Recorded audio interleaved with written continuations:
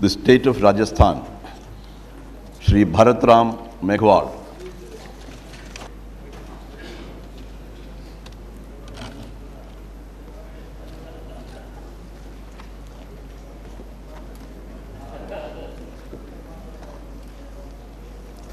मैं भरतराम मेघवाल जो लोकसभा का सदस्य निर्वाचित हुआ हूँ ईश्वर की शपथ लेता हूँ कि मैं विधि द्वारा स्थापित भारत के संविधान के प्रति सच्ची श्रद्धा और निष्ठा रखूँगा।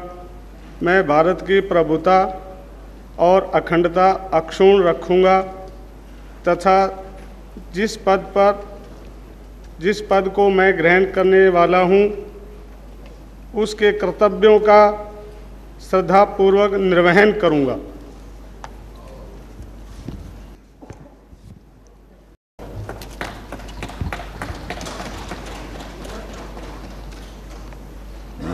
नहीं है?